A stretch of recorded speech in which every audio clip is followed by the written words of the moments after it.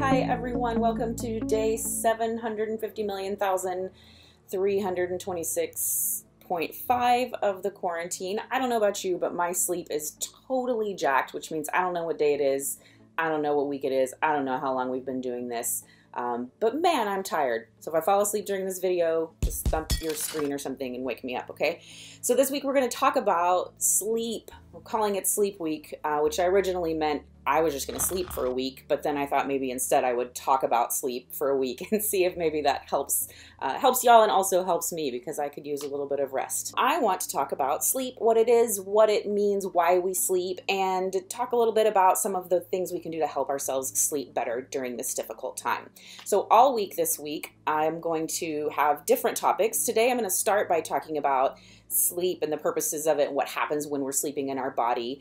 Um, and then throughout the week, I'm going to be talking about different kinds of sleep disruption. So, to kick off this first video, I want to talk about what sleep is. Why do we sleep? What do we do when we're sleeping? Um, and of course, you probably know that when you sleep, your body rests, your muscles rest, physically, you rest, um, your brain gets some rest, but it is not completely asleep. Your brain is still working, your autonomic nervous system is still working when you're sleeping.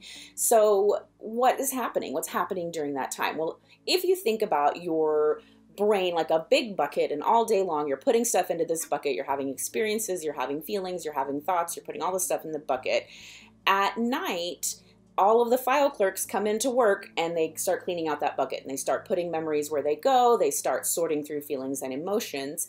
Well, around six weeks ago for me, um, I think 12, 14 years ago, whenever the pandemic started, kind of like that bucket just got filled with a whole bunch of crap that those file clerks had never seen before. Getting all of these feelings, all of these fears, all these emotions, all these things are happening, and your brain is like, wait, what? Where did these memories go? Where did these feelings go? I don't know what to do with all of this. So, for a lot of people, this is showing up like really weird dreams, nightmares, um, some of those, eh, not even nightmares, but just like those icky feelings of dreams. And what's interesting is that while your file clerks are going through all of this stuff, your nervous system is still working. Again, your autonomic nervous system is that fight or flight system.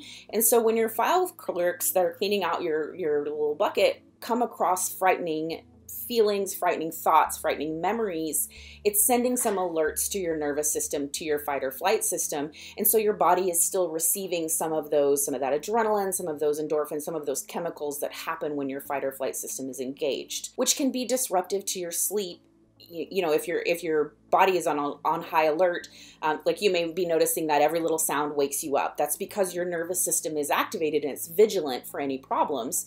And one of the reasons that it's vigilant for any problems is because of how much your brain is trying to process at night while you're sleeping. If you're not making room for your feelings and your thoughts and your you know to really let yourself experience what's happening right now you're going to be experiencing it at night. Now this can show up kind of broadly in three different ways there are many different types of sleep disorders and different reasons people have sleep disruption. But for the purposes of Sleep Week this week, I'm going to talk about problems with falling asleep, problems with staying asleep, and problems with waking up too early and not being able to go back to sleep. Some people struggle with all three of those, some people struggle with one more than others, and sometimes they fluctuate. So let's talk about some of the tools or the ways that you understand how you sleep and what your sleep habits are. Now, a lot of people tell me they use things like their Fitbit or their phone to kind of track what how much sleep they're getting and how restless they are the night and I think that's great that can definitely give you good information but I think it's way more important that you are mindful and that you are paying attention and you are gathering information not just relying on an app or a technology or some kind of device to tell you how your sleep is going. So this week what I'm going to invite you to do is raise your awareness around your sleep habits. Now sleep habits are the things that we do around sleep. So this will be when you're, you know, getting ready to go to bed, when you're getting ready to go to sleep, and also what you're doing when you first wake up when you're coming out of sleep. Sleep habits. And I've kind of categorized these for the purposes of this week. I've categorized these three ways thoughts, actions, and feelings, which we talk about a lot when we're talking about anxiety management. And so when you're getting ready to go to bed, you have thoughts, you have actions, and you have feelings that are based around bedtime. So the first one, thoughts it, again, if we're thinking about the brain like a bucket, like what are the thoughts that are going into that bucket when you're getting ready to go to bed? These can be thoughts about your relationship with sleep. If you have trouble sleeping before you're going to bed, you may be thinking, man, I got to go to bed again. I'm not going to be able to sleep again. You may be thinking about what's been going on during the day. You may be thinking about what's going on tomorrow. You may be worrying. You may be you know, there, there are all kinds of thoughts that are going through your head. So raise your awareness around those. What kind of thoughts are going on? Pay attention to what actions you're doing around sleep. So actions can be things like, um, what how you're preparing for bed, what your rituals are. Are you praying? Are you meditating? Actions are hygiene. Are you brushing your teeth? Are you doing the things that kind of cue your body into knowing that it's time to sleep? Actions include how neat you keep your environment, what kinds of bedding you choose, what um, what the lighting is like, making active decisions about what your environment is like. Um, actions also include how you let yourself fall asleep or how you shift into sleep. So people shift into sleep in many different ways. Some people will decide that it's time to sleep and they'll turn out all the lights and they'll put their book down and they'll put their head down and they'll close their eyes and then they will lay there and then they will fall asleep. That is one way of falling asleep. Other people will say watch TV until they cannot stay awake anymore, which is very different from deciding to go to sleep. Some people will read until their eyes feel heavy and then they'll stay exactly where this is me. I'll lay and I like read and then when I feel like I'm ready to sleep, I just put my phone down and then let myself fall asleep because if I move at all, then I'm awake again. Just I'm sure a frustration shared by many of you. Again, this week we're just talking about noticing. So raise your awareness of what are the actions that that are around how you fall asleep, how you get ready for bed, um, and and how those are affected by your thoughts. You know, if you have negative thoughts about sleeping, does that change how you're preparing for bed? Actions also include what you do when you can't sleep, whether when you're struggling to fall asleep or in in the night. Um, or early in the morning if you're waking too early when you make decisions about are you going to stay there and lay there? Are you going to look at your phone? Are you going to get up? What are those decisions? Are you going to use relaxation techniques? Those are actions also. And then the third category thinking about getting ready for bed feelings how you're feeling about bed. Are you feeling tired? Are you feeling amped? Are you feeling worried? Are you feeling scared? Are you feeling safe? Are you feeling content? Notice your feelings. Notice how those feelings affect again, your actions and your thoughts around bed, but also how those affect your sleep. I know a lot of people are struggling right now with kind of existential dread, kind of that big, those big questions of what's going to happen what does all of this mean? And those can those feelings can kind of settle in. And sometimes those feelings are, are really difficult to name and understand. You can just feel like maybe you have this weight on you emotionally but you're not really sure what that is. And it may be easier to hold that at bay during the light of the day like sunshine helps keep keep the beasts away, but at night those feelings kind of come creeping in and settling on you, and those are going to affect how you sleep as well. So keeping the thoughts, actions, feelings model, let's talk about mornings um, on the on the other side of sleep. Whatever your morning is, if you're like me and you get up later in the morning or if you get up early, whatever your morning is, um, let's think about your thoughts, actions, and feelings around that when you're getting up. So, first question I have, inviting you again to notice this week, is what happens in the space between you when you wake up and when reality crashes in. So there is usually, sometimes it's a split second where you wake up and there is a sense of consciousness, and then, oh, life is here. Hello, life. Ugh. Um, and some people have a little bit of a greater space between that. And so I want to invite you to notice that space and see what you can do to extend that space of peace before you invite reality and before you invite the day to come to come crashing in. Notice what your first thoughts are in the morning. If you're immediately thinking negative thoughts, if you're immediately in steeped in that anxiety, then that's going to have a big effect on your day, which is going to cycle back around when it's time to sleep again and you kind of have those thoughts actions like, "Oh, I'm going to have another tough night. I'm going to wake up and have another tough morning." And that can that can be hard to deal with. So sometimes the way that we think about how we slept can show up in the morning. So this happens for me a lot because I wake up super early with anxiety and I'll lay there and I'll think, well, I didn't get enough sleep, so therefore my day is ruined. Therefore, I'm not going to be able to get anything done. Therefore, I'm not going to be productive.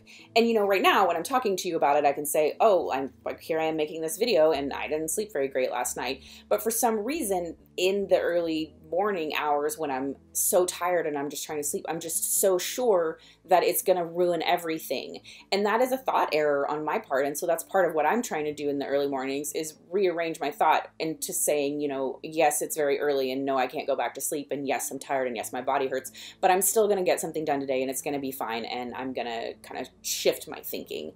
Um, so the way you're thinking, what you're thinking about. Again, we're just noticing right now. Over the course of the week, we're going to talk about shifting that, but today's the first day, and so I just want you to start noticing your thoughts in the mornings, how you're thinking about sleep. So sometimes situations happen that rip us from sleep. Maybe the doorbell rings, the dog barks, the somebody's puking in the on the carpet. My cat it pukes on the carpet and wakes me up. It's not my favorite. When that happens and I'm pulled from sleep, all of the thoughts that come in are almost involuntary. Like, does anyone want a cat? Does anyone want a cat? Not just kidding. It's my baby. You can't have my cat. Um, but you can have her come puke on your carpet if you need a good alarm clock because it's very effective. So sometimes these situations happen and they kind of pull us from sleep, and then we have all of these involuntary thoughts. So if that's happening for you, if something's pulling you from sleep, notice what your thoughts are about that. Okay, let's talk about actions in the morning. This is a really, really big one, and adjusting these can be helpful um, in really big ways, I think. So, what are the things that you do first thing in the morning?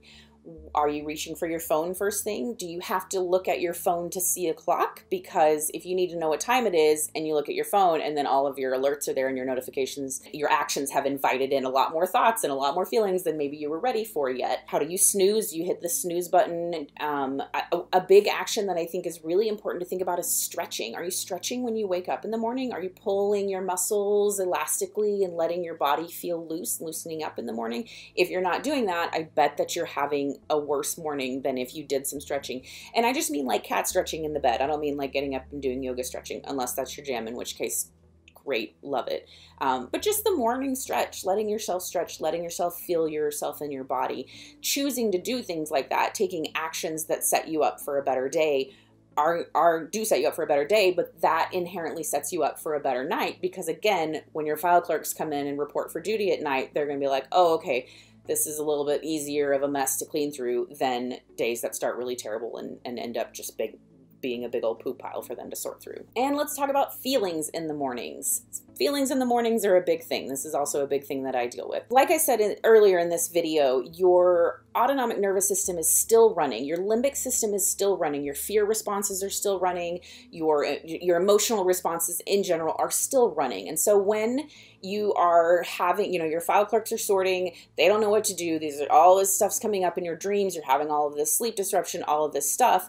Well, your limbic system is sending out all of these signals about all this emotional stuff that's happening. So when you wake up, you're carrying the feelings that you had during the night, whatever those were.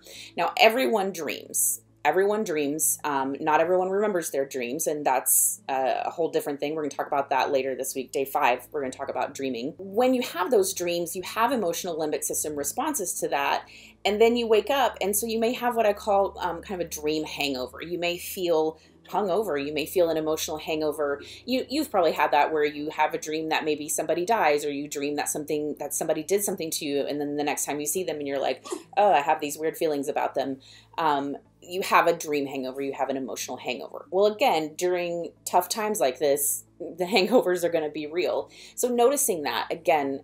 I know I keep saying this, but again, we're, we're trying to increase how we're noticing our sleep habits and how things are going for us in the morning. All right, so we've talked about the three types of sleep disruption. You know now what happens in your brain when you are sleeping. Um, and we have talked about thoughts, actions, and feelings, both in terms of going to sleep and getting up the next day. So start noticing these things, increase your awareness around these things. Tomorrow, we're going to talk about difficulties falling asleep. So I'll see you back here tomorrow to talk about that. Uh, catch me over on Facebook, catch me on Instagram, got my Twitter now. Uh, subscribe, like, comment, all of the things here on YouTube. It helps so much, and I will see you tomorrow.